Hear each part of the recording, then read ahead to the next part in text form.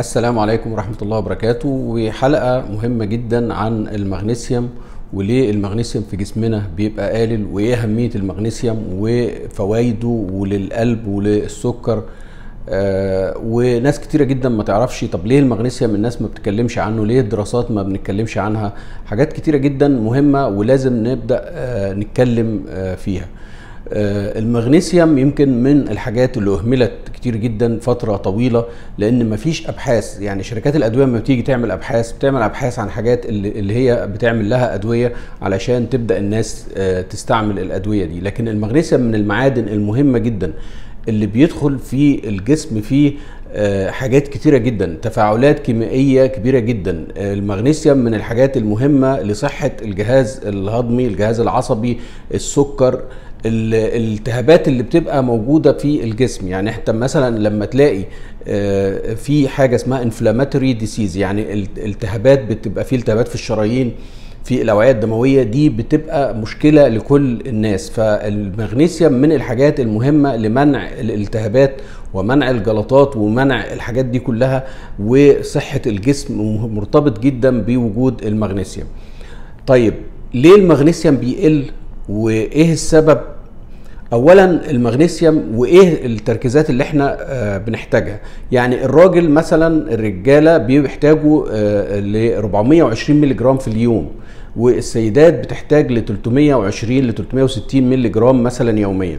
كمية المغنيسيوم اللي الناس بتستخدمها في اليوم قليل جدا عن النسبة اللي إحنا بنتكلم عنها. يعني المغنيسيوم اللي أنت بتستخدمه يوميا أقل بكتير جدا من اللي أنت بتسمع عنه أو اللي أنت المفروض تاخده. لأسباب كتيرة جدا. الزراعة السويل التربة ما بقتش تستعمل الأكل بتاعنا الحاجات الأورجانيكس المهمة اللي في الزراعة نفسها ما بقتش تستعمل. يعني أنت مهما تاخد من أكل مش هيعوض لك المغنيسيوم اللي موجود. استعمال الأدوية للمعدة. الناس اللي عندها حموضة في المعدة وللأسف الشديد بتاخد أدوية المعدة يوميا ما تعرفش إنها بتقلل امتصاص المغنيسيوم. ربنا لما خلق المعدة وخلق الحمض خلق ليه فوائد مهمة جدا.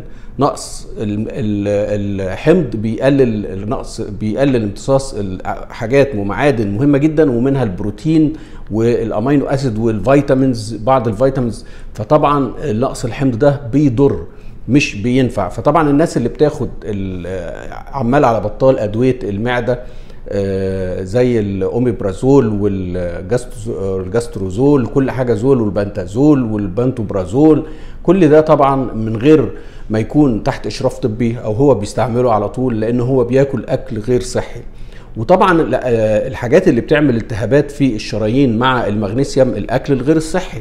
في حاجات زي الأوميجا 6 مليانة بيها الزيت الزيوت المهدرجة والزيوت النباتية دي كلها والحاجات مصنعة ومهدرجة وعملت بروسيس كتير.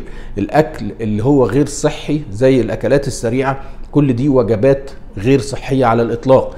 تصيب الشرايين وتعمل التخمة والسمنة وتعمل التهابات في الجسم فطبعا كل ده يأثر على الامتصاص بتاع الجسم ويزيد من الالتهاب الجسم. فطبعا أنت لما يكون عندك حاجة زي كده ده طبعا بيؤدي إلى التهابات في الشرايين وأمراض القلب وأمراض المخ وأمراض السكر وأمراض الضغط كل ده بسبب سوء التعامل مع المواد الغذائية المفروض ناكلها.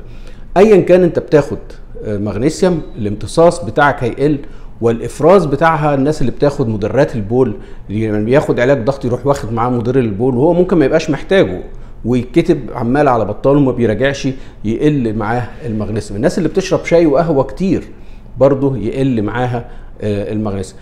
المشكلة إن مهما أنت أكلت أو خدت أنت احتياجك للمغنيسيوم بقى زيادة. عن زمان يعني من آلاف السنين ومئات السنين الناس ما كانتش بتحتاج مغنيسيوم زي دلوقتي. ما كانش في زمان التلفزيونات والسهرات والفيسبوك والحاجات دي كلها ما كانش حد بيقعد يسهر بالليل ما كانش في حد بيضيع وقته. ال lack of sleep اللي هو قلة النوم التوتر العصبي اللي موجود في الحياة كل ده بيحتاج more مغنيسيوم انت عشان تسهر محتاج مغنيسيوم أكتر. علشان عندك ضغط عصبي محتاج مغنيسيوم أكتر. عشان عندك توتر عصبي محتاج مغنيسيوم أكتر. علشان عندك سكر محتاج مغنيسيوم أكتر. عشان بتاكل كربوهيدرات وسكريات محتاج مغنيسيوم أكتر لأن المغنيسيوم بيدخل في عمليات حيوية كتيرة جدا علشان تساعد لنا في امتصاص الأكل ده وهضم الأكل ده ومهم جدا في استعمالنا وفي حياتنا.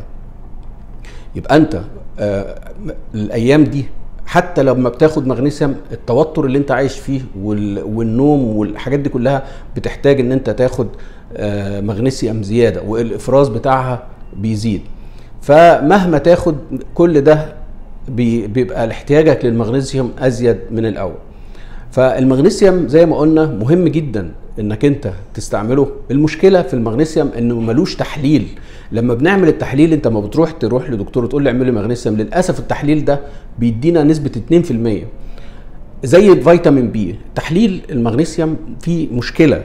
هو بيشوف ال subway يعني الطريق اللي هو فيه العربيات رايحه جاية هو بيشوف الطريق ده ما بيشوفش اللي جوه الخلايا. يعني ما بيقيسش المغنيسيوم اللي موجود جوه الخلية. يعني لأن هو ما بيقيسوش هو التحليل عشان تقيسه جوه الخلية غالي جدا وصعب إنك تلاقيه في أي معمل فهو بيقيسه اللي في الدم اللي هو مش ن... اللي أنت ما تعرفش أنت قست في الدم لقيته طبيعي ما يعرفش. لكن لو لقيته ناقص يبقى ده أكيد ناقص ده كونفورماتري يعني أكيد ناقص. لكن لو هو طبيعي مش معنى كده إن هو طبيعي أكيد ما, ما نعتمدش عليه خالص. أنا شخصيا ما بعتمدش عليه. اولا ممكن واحد يقول لي طب أنا لو خدت مغنيسيوم كتير أنت مغنيسيوم أنت محتاج 420 كراجل و360 كسيدة فانت لو خدت 5000 مللي جرام لا ده أنت بتاخد هو إيه 500 250 بجانب الأكل والشرب اللي بتاكله. آه وطبعا منكم هيقول لي طب إيه الأكل المفيد اللي أنا أكله؟ آه زي المكسرات الكاش والخضار الحاجات الأفوكادو والحاجات اللي هي اللي فيها خضرة كتير فيها مغنيسيوم. بس تتأكد إن يكون موجودة في التربة بتاعتنا موجودة في ال ال الناس اللي بتزرع اللي هو الحاجات الطبيعية والسبانخ طبعا من ضمن الحاجات اللي فيها مغنيسيوم. فلازم آه نفهم كويس جدا إن الأكل الصحي مهم جدا. الأكل الصحي ده يا جماعة من الحاجات المهمة جدا لصحة آه الجسم مش بس عشان المغنيسيوم عشان حاجات آه كتير.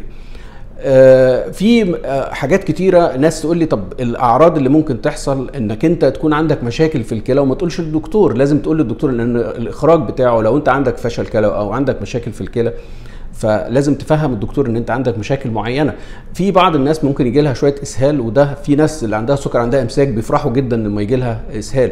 والإسهال ده مش مع كل التركيزات مع ال oxide ومع اللي هو ال ال ال في مغنيسيوم gluconate ومغنيسيوم حاجات أنواع كتيرة جدا بس هو مع ال oxide أكتر. في drops في حاجات موجودة. في في ال market حاجات كتيرة جدا. فالمغنيسيوم هيفيدني جدا في العمليات الحيوية المغنيسيوم هيفيدني جدا في صحة الشرايين ولقوا اللي هو ليه anti-inflammatory effect يعني مضاد للالتهابات اللي بتبقى موجودة وبيقلل ال cramp ات الناس اللي عندها سكر وبتاخد الجلوكوفاج وعندها نقص فيه جامد. الناس اللي بتعمل keto diet مهم جدا إن هم ياخدوا مغنيسيوم. ال cramp ات بتخف والأعراض اللي أنت بتبقى عندك بتخف فطبعا أرجو إن الناس تفهم إن في نوعين من الأكل نوع inflammatory يعمل التهاب في الجسم ونوع آه ما بيعملش. الكربوهيدرات والنشويات يا جماعة من الحاجات المؤذية للجسم وهفضل أقول كده لغاية ما كلنا نتبع الحاجة الصح. العيش والرز والمكرونة والحاجات اللي بناكلها والحلويات كل دي من الحاجات اللي بتأذينا مش بتنفعنا. كتر أكل الشجر الحاجات اللي فيها دي بنحتاج مغنيسيوم زيادة. كتر أكل الحاجات الغير صحية بتحتاج مغنيسيوم زيادة وبتحتاج معادن تانية زيادة. بناكل حاجات ما فيهاش بوتاسيوم بناكل حاجات ما فيهاش أي معادن مفيدة لجسمنا. عشان كده أرجو إن أنتوا من من اللحظة اللي أنا بكلمكم فيها تفهموا أهمية المغنيسيوم لجسم الإنسان أهمية المغنيسيوم للشرايين أهمية المغنيسيوم للقلب أهمية المغنيسيوم للناس اللي عندها سكر أهمية المغنيسيوم للناس اللي بتاخد أدوية كتير. المغنيسيوم مهم في جميع العمليات الحيوية للجسم. مهم جدا في صحة شرايين جسمنا. أرجو إن أنتوا تهتموا بيه. التحليل مش هيفيدنا كتير خالص عشان بس ما حدش يجري يعمل تحليل والأمور دي. لا هو يبدأ ياخده من الأكل الصحي يبدأ ينام كويس يبدأ يقلل الكربوهيدرات والنشويات لأن ده هيقلل أهم احتياجنا للمغنيسيوم. ده أهم من الدواء على فكرة. ويبدأ إذا كان عايز ياخد المكملات الغذائية ي- آه، إن شاء الله هتجيب معاه نتيجة. لكن ال- الصح إن أنا أبدأ صح إن أنا أقلل الاسترس أنام كويس أقلل الأكل اللي هو الزايد اللي بيخليني أحتاج لمغنيسيوم أكتر أقلل الشاي والقهوة. كل ده هتلاقي الكرامبات اللي عندك والصداع والإرهاق والتعب كل ده آه، بيروح من جسمك. آه، أتمنى إن الحلقة تكون مفيدة لحضراتكم وإن شاء الله نكمل مع بعض. تحياتي ليكم وأشكركم.